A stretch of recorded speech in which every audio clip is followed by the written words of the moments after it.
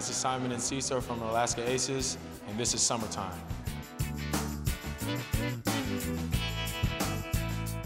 Uh, in the summer, I would love to go to Boracay. I mean, I'm a beach body, so uh, I just love being around the beach and, and feeling that island life. Uh, paddle boarding. Um, I don't know. I just like being out in the out in the water. Like I said, I'm a beach body. Um, I love being by the beach, soaking in the sun. So, getting a tan. Love getting tan.